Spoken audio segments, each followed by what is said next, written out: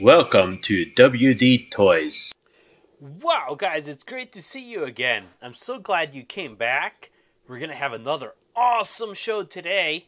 Today we have another awesome Schleich collectible dinosaur. I've done a review on pretty much all of the Jurassic World toys, and I've got a lot of comments from people asking me to review the Schleich and the Papo dinosaurs. So here is some of them. If you do like these lines of reviews, make sure you leave me comments so that I could review more of them. Because there is a lot more. Or if you have another line of dinosaurs that you like, let me know about it and then I will try to review them. So here is the Schleich Velociraptor. Personally, I did a review uh, a little bit ago of the Papo Velociraptor, which I think has a lot more details, and I do like it a lot more than the Schleich one. I mean, Schleich does a great uh, job with the details on these dinosaurs, much better than Jurassic World, but Papo seems to do a much better job. So let watch them all and let me know. Uh, these videos are in my Jurassic World dinosaur playlist.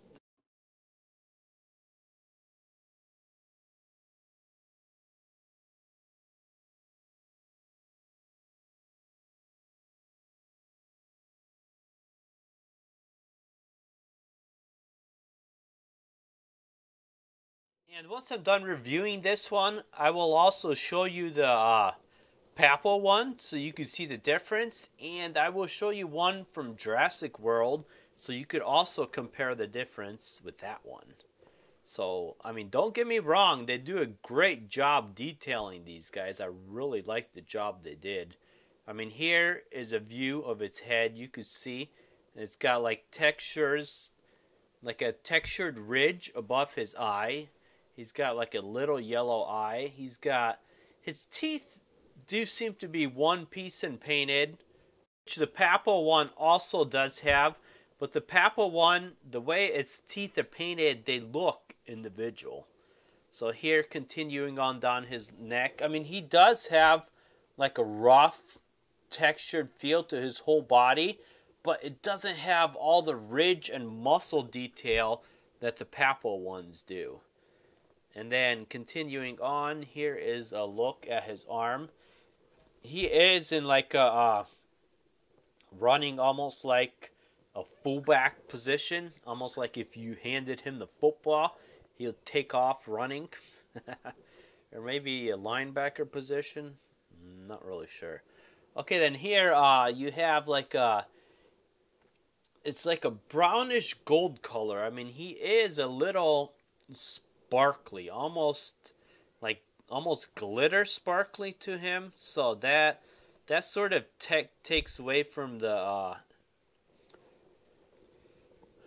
originalness of the uh, the figure. And then, like I said, I mean, here is his arm. The way he does have cool, cool looking claws. The way he's posed his arm is helping to hold him up, which is also with the Papo one.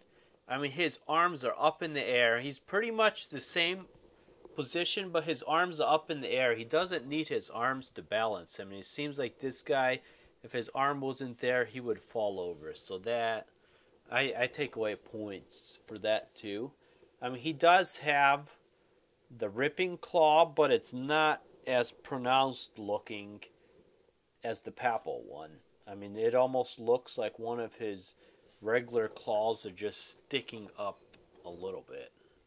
So that that's not the greatest there either. I mean, he does have a textured look on his feet, like the textured chicken look to his feet, which is cool.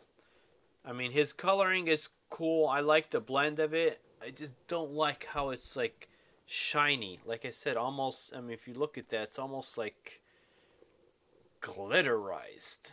So I I don't know. Okay, his third claw looks better on this side. I mean, it seems to stick out more pronounced, and you can see he does have ridge detail on his feet over there. And then continuing on, his other arm is up in the air. So I mean, I like the way his other arm is, and his jaw is also articulated, which is a nice feature for these dinosaurs. I mean, they do they do a nice job painting his eyes, but I, I hate to keep bringing it out, but the Papo one does a much better job, as you will see soon. Because, or if you've already watched my uh, review on the Papo Velociraptor, you know that he does. Okay, well, let's take a look at the, this guy from underneath, too. Okay, here's a view of the bottom of him. Uh, they sort of went a little cheap on the bottom of this guy. I mean, they just painted him white. If you look at the uh, Papo, my review on the Papo one, I mean, they kept the detail and the ridge and the muscle detail and everything on the bottom. I mean, I, I like how they did the feet on this one. I mean, they got the ridge lines in the feet.